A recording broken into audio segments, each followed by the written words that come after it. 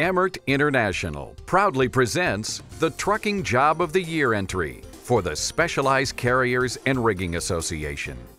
Emmert International was approached to determine the feasibility of transporting power generation equipment from the Port at Texas terminal in Houston to Granbury, Texas.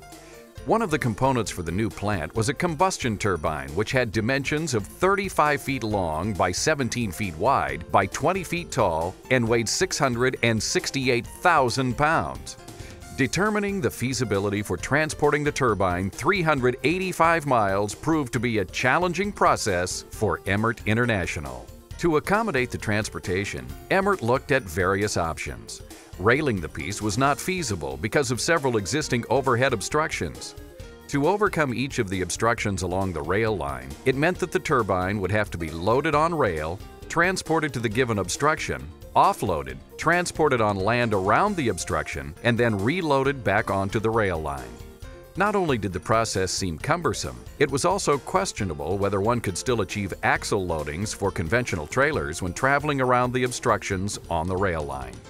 As a result, Emmert began evaluating transportation concepts by reviewing a trailer system that would accommodate axle loadings and also be able to maneuver through a route from Houston to Granbury. Given the weight of the turbine, it would be difficult to achieve the necessary axle and bridge loadings with conventional trailer systems. Therefore, some of Emmert International's existing dolly and beam transport systems were analyzed to see if they could support the weight of the turbine and also meet axle requirements for the state of Texas. After some review, it was quite apparent that none of Emmert's existing transport systems had the capacity to carry such a load. Nonetheless, engineers at Emmert International determined that some of the existing dolly transport components could be utilized. However, it would require the fabrication of new main carrying beams and weight distribution beams in order to accommodate the weight of the turbine. Modifying Emmert's existing equipment meant re-evaluating the capacity of the transport system, axle loading requirements, turning radius capabilities, and modularization of the components. It was imperative that the trailer have sufficient capacity to support the weight of the turbine, but also, at the same time, have the mobility to maneuver around tight corners. The engineers at Emmert International focused on several areas. First, they looked at what would be required for a steel beam trailer frame to support the massive weight of the turbine. This included analyzing the main carrying beams, cross beams, and other support beams for the main trailer section. Calculations were performed to determine just how large the main carrying beams would be. To accommodate the weight of the turbine, the beams would have to be 124 feet long and the middle section would have to taper to a height of 7 feet. Since the beams were too large to transport by conventional trucking methods at that size, they had to be modular in nature so they could be taken apart and shipped as separate legal truckloads. Not only did the main carrying beams have to be modular, all of the remaining transport system needed to be modular as well. The main carrying beams were attached to cross beams which stabilized the lateral movement of the beams. The main carrying beams and cross beams form the main trailer, or H section, the cross beam on the front end of the main carrying beam was mounted on a turntable which was supported by a ball socket. The ball socket would be sufficient in size to serve as the main contact point and support mechanism for the front of the transport system. The rear cross beams were attached to a rocking turntable. However, on the rear portion of the trailer, each turntable was placed on the outer portion of the trailer. The front and rear points on the cross beams would serve as the basis for the trailer's three-point suspension. This suspension would enable the trailer to accommodate lateral loads when negotiating turns. In order to transfer the weight of the cargo and the main trailer frame, 10 walking beams were placed under the H section. The walking beams would be utilized to evenly distribute the weight of the entire load on top of 20 of Emmert International's 70-ton hydraulic highway dollies. The placement of the walking beams in order to distribute the weight of the transport system would be crucial for legalizing the axle weight for the overall trailer combination. In addition to the 20 dollies under the walking beams, two additional dollies were placed under the support steel or bed beams, which served as the support base for the turbine. These two additional dollies would be required at all major bridge crossings. In total, the transport system would utilize a total of 22 Emmert International hydraulic highway dollies. In order to elevate the load when traveling down the roadway, several hydraulic jacking rams were utilized in various locations on the transport system. Each of the Emmert International dollies maintained a 160-ton jack within the dolly frame that could be elevated to a height of 14 inches in order to raise the transport system. The ball socket on top of the dolly jack ram provided the rotation of the dolly around the contact point. Therefore, each section of dollies under each walking beam could be steered independently to accommodate turning. An additional 14 inches of elevation for the transport system was also achieved by installing three 600-ton hydraulic jacks at each of the turntable contact points under the H section. To accommodate maneuvering of the transport system, Emmert International designed a hydraulic steering system which was outfitted on all of the dollies. In addition to the hydraulic steering system, the front group of dollies could be steered in one direction while the rear group of dollies could be steered in the opposite direction. In essence, the transport system could spin around a center axis. The ability to spin the transport system coupled with the new hydraulic dolly steering system ensured the maneuverability of the trailer. After evaluating a preliminary trailer design, the staff at Emmert began to identify potential routes for overland transportation. Representatives from the Texas Department of Transportation worked with members of Emmert International to ensure that a mutually agreed upon route would be achieved. Both Emmert and the Texas DOT worked on several routing variations over a 10-month period. A route was identified that would take the turbine out of the Port at Texas terminal and through the Houston city limits, traveling northeast on Route 90 toward Dayton, Texas. After reaching Dayton, the route would transition northwest through College Station and Waco toward Granbury. The route would require many improvements. However, it was feasible for the transport system, which was as long as a football field, to maneuver from Houston to Granbury. After the Texas Department of Transportation agreed to the routing, Emmert's final trailer design and routing were submitted to the state for bridge and pavement analysis. Never before in the state of Texas had a dolly transport system of this size and magnitude been allowed on the streets. Before Emmert International was able to commence with the move, a series of route improvements would be required. Members from Emmert International traveled the route with various subcontractors and identified all route improvements that would be required to negotiate all of the difficult areas. On US 67, a bridge crossing over the Paluxy River, the installation of steel bridge plates was required to strengthen and reinforce the bridge girders. In total, over 30 improvements were made along the route which required a combination of excavation, backfilling, compacting, matting, and plating. After obtaining route approval, Emmert International began to mobilize the transport system to the Port of Houston. 25 trucks were mobilized to ship each of the transport system's modular components.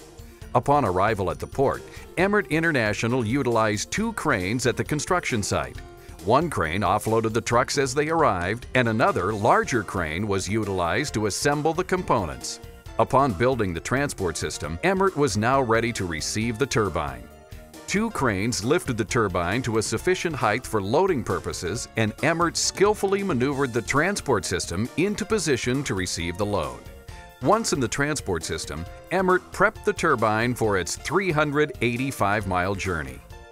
All of the hydraulic dollies were plumbed, the load was chained and secured, and three all-wheel drive prime movers were attached to the transport system. Front and rear police escorts would be required throughout the move. Movement of the turbine would only be allowed during daylight hours and no weekend travel, and was also restricted in Houston during the morning and evening rush hours. All utility, railroad, and traffic agencies had been contacted by Emmert International and given a transportation plan. Evaluation of the transportation plan would allow each of the agencies to analyze the impact of the forthcoming move. In addition, it would be the responsibility of Emmert to provide updates during the turbine movement for each of the agencies. Notifications had been submitted and it was now time to commence with the transportation process. At approximately 9 a.m., the turbine left from the Jacinto Port Road and traveled along the Sam Houston Parkway. Police, bucket trucks, escorts, and service trucks traveled with the load as it moved down the road. After traveling for 20 miles, the first leg of the journey was completed within two hours. Due to travel restrictions, the load was then staged in Dayton, Texas until the next day. After staying the night, the entourage was assembled and once again the turbine was on the road.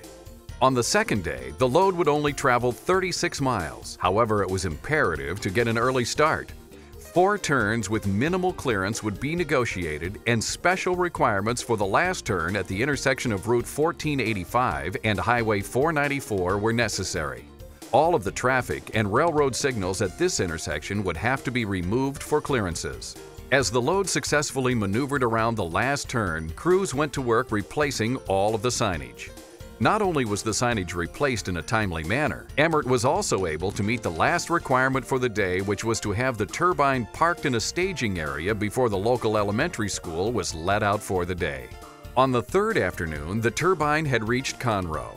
The transport system was averaging 40 to 50 miles per day, However, in tight turns, the turbine moves slowly as the crews from Emmert utilize the hydraulic steering system on the dollies to negotiate the tight corners. Special considerations were required when negotiating bridges with the transport system. When performing a bridge crossing, no other traffic was allowed on the bridge. The transport system was also required to be centered on the bridge and was restricted from utilizing the bridge shoulders. No stopping, starting, or shifting was allowed on the bridge in order to maintain a constant speed during the crossing. On specified bridges, Emmert International was also required to place additional dollies under the load to meet the necessary bridge engineering requirements. After leaving Conroe, the route proceeded along State Highway 6 to Waco and across Interstate 35 toward Granbury, Texas. Crews from Emmert International skillfully maneuvered the transport system along the route. As representatives from Emmert moved ahead of the load to inspect the route, a bridge was encountered that was being worked on by a local construction crew. Unfortunately, half of the bridge deck had been removed after the transportation permits were issued, and it appeared that further analysis on the bridge would be required by the Texas Department of Transportation. There was sufficient width for the transport system to make it across the bridge. However, clearances were less than 4 inches in some areas where the bridge deck had been removed. After performing additional calculations, it was determined that the bridge still maintained sufficient structural integrity for the turbine crossing. Before negotiating the bridge, Emmert International worked with the construction crews to relocate all of the barricades and signage that were posted for the bridge construction. Removal of the signs provided a clear path and allowed Emmert to align the transport system for the bridge crossing. To reduce traffic congestion, Emmert was required to cross the bridge after midnight and be completed with the crossing by 6 a.m. Once the signs were out of the way, the turbine slowly moved across the bridge.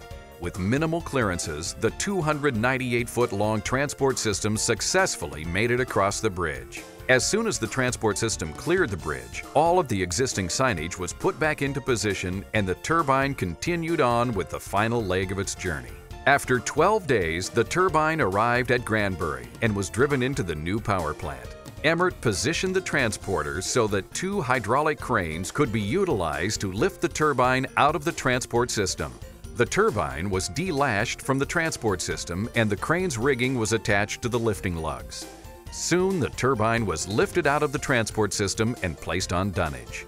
Emmert was then able to move the transport system to a staging area and commence with the disassembly of the trailer. A crane was utilized to remove the modular transport system components from the main section of the trailer and position them on the ground. A second crane was utilized to load out the components onto trailers for demobilization. Beginning on January 28th, with a gross weight of over 1 million pounds, Emmert International had transported the turbine a total of 385 miles and successfully delivered it to the customer by February 8th. Over the course of the 12-day journey, there were no injuries, no damage to equipment, and no delays. Overall dimensions Length 298 feet. Width 19 feet 10 inches. Height 18 feet 6 inches. Gross weight 1,080,000 pounds. Permits and approvals Texas Department of Transportation. State of Texas Bridge Department approval. State of Texas Pavement Department approval. Four Texas State District Transportation offices four Texas state signal divisions, 10 city municipalities, 12 county municipalities, six power utility companies, six telephone companies, physical elements encountered, 90 degree turns, railroad track crossings, traffic control devices, overhead wires, 6% grades, road width restrictions, bridge construction, shoring of bridges, planning the job, five-month permitting process, 1,280 hours of engineering, 2,020 hours of planning and coordination. Safety considerations, pilot cars, height sticks, radio communications, police escorts, traffic control plans, daily equipment checklists. Execution, 1,152 man-hours. Ingenuity and innovations. Modifying existing dolly and beam trailer to meet new transport needs.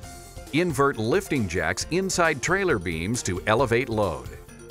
Utilize dollies on bed beams to meet bridge loading requirements.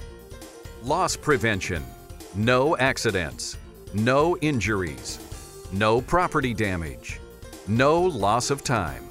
No cargo damage. No incidents.